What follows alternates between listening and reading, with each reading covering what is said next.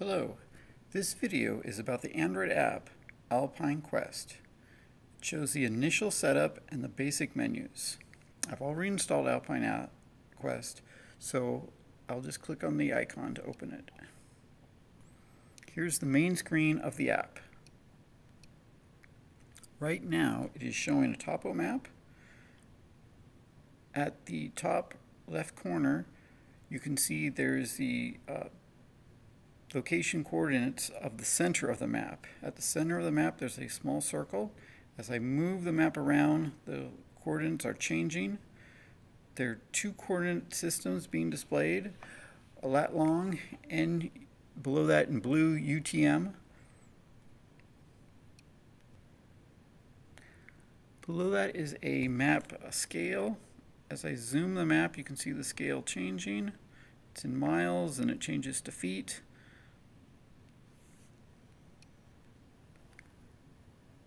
At the bottom left of the screen, there's a menu. There's five options. The first one is kind of the, the general main menu, allowing you to hide the menu, to lock the screen, print a map, or go into settings. We'll look more at that in a moment. Next to that is a map menu, and you can choose which map or maps to display, and you can save maps for offline use. Next is the Place Marks location menu where you can um, save a location or uh, place a waypoint. After that is the GPS menu which you need to use to, to turn on the GPS and to start and stop uh, recording of the track that you're uh, making. And that's followed by a compass menu that lets you use or not use the compass of the, the device to orientate your map. First, we'll go over some basic settings that you'll want to set before you start using the app. So we'll click on the, the settings next to the little gear. You can choose your distance units, your location formats, bearing units, slope, pressure, um, lots of options. First, you'll probably want to do your location and possibly add or use a secondary location. Under here, there's many choices. I have uh, WGS84 with a lat long displaying degree minute seconds as my choice. Um, if you are using more of a, a legacy map, you want to scroll all the way to the bottom where you have the option of the NAD27 but this is not used much anymore. Um, the Ventura County Air Unit and search and rescue teams have all basically finally moved on to the WGS 84. So we will select that. Under our secondary format, we're going to do uh, UTM with the same WGS 84.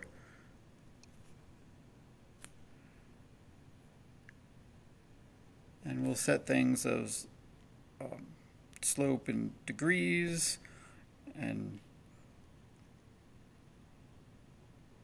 be sure you're on the um, true north.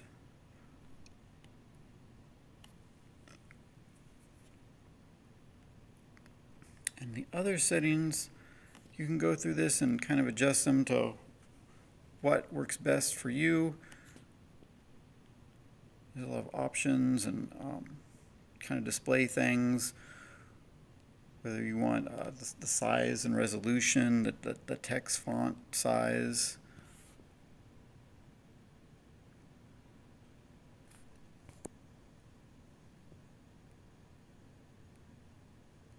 But for now, um, this is probably basically good. You can adjust things like having um, the screen never go to sleep or um, being able to access the map without going through the lock screen, which are handy things to set up.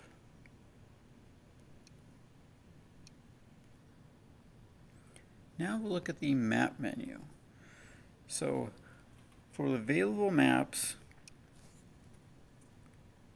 you've got quite a few choices and you can add more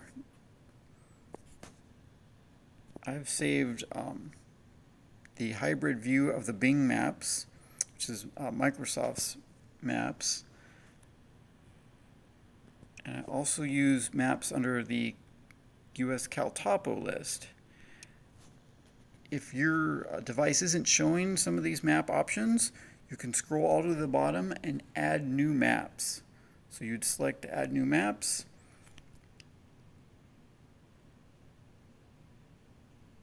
And we go to the bottom of this list. We have some USA maps, and here we get to the USA CalTopo maps. And you want to add those because those are, are very useful.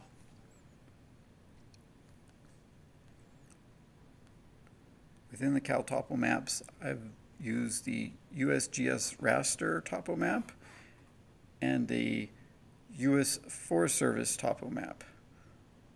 Both are, are very um, useful maps and you'll want to download them so you'll have the ability to use them when you're offline. Now, to download them, you have the select area and save area. Right now, I'm displaying um, the, the topo map, USGS map, and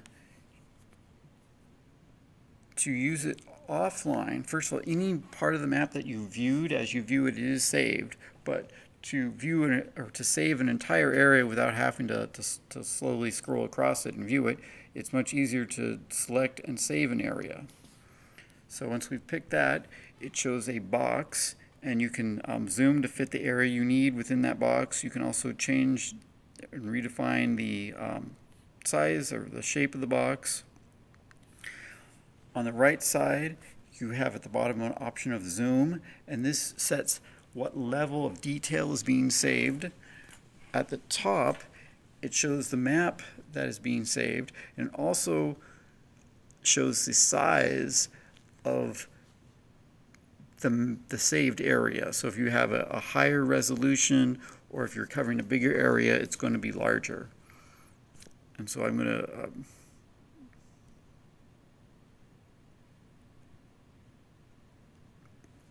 zoom out to a larger area and then I'm going to adjust the zoom and so at this point it would take 438 megabytes to save this map area. I'm going to hit, um, I'm going to actually zoom in so it's not quite so big.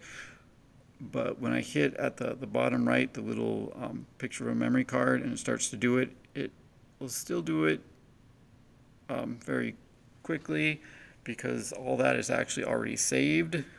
Um, but it, it's showing there's an error, and that's because my phone actually does not have um, Wi-Fi or uh, cellular access at the moment.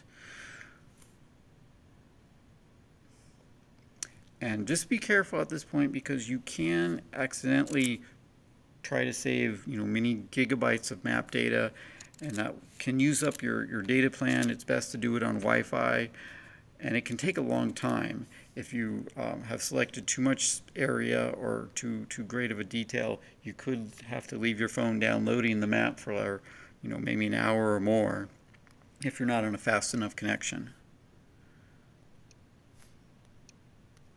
Next we'll go to the place marks menu, which is the little flag. Um, under here you have the create a place mark option.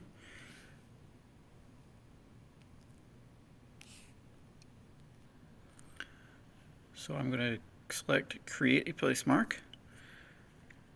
You have a bunch of things you can create. You can create a waypoint, a picture waypoint, a set of waypoints, a route, a path, an area, and there's uh, lots of other options and things you can um, adjust. So we're just going to start with something simple of a waypoint. Now, it's going to create this waypoint at what is the center of the map. You can name it, and you can either select the, the center of the screen there, or you can edit and type in whatever coordinates you want to use. So for this example, I'm going to cancel it and we will first move the map to a point of interest. So we're going to go to Pyramid Lake and I'm going to put the, the the center dot right on the dam spillway for the Pyramid Lake Dam. I'm going to go to place markers, create a place mark, and create a waypoint, and we'll label this as the dam. And I will hit OK.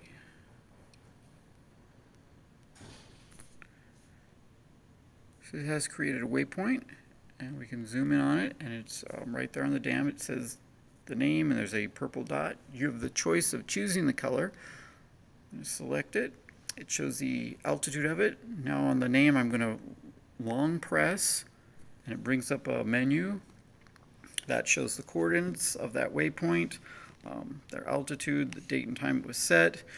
On the right, there's a little picture of a clipboard. You can touch the clipboard, and it brings up um, copy and paste options. So you could copy the uh, GPS coordinates of that waypoint in multiple formats, whether UTM or lat long, and you just touch on the clipboard next to the format style you want, and then it will take it and copy it into the clipboard, and you can like email it or um, text message the coordinates easily from that.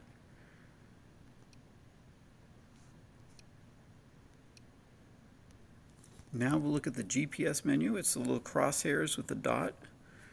And here's where you turn the GPS function on or off, and um, once it's recording a GPS position, you can record a track with turning the track recording on or off. So first I turn the GPS on.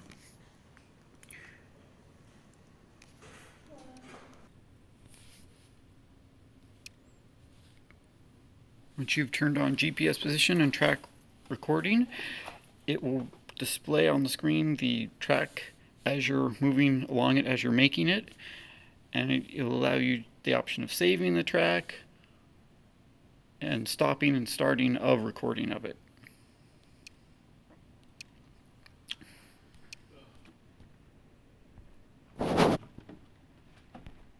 So here we have the final menu option, the compass and it simply chooses whether the screen is orientated with um, the map having north at the top or the map um, moves to face magnetic north. So I will turn the compass on and the map is now turning and as I turn the device it keeps uh, north in the map towards actual north in the real world. And then I turn the compass off and it goes back to the map showing north at the top of the screen.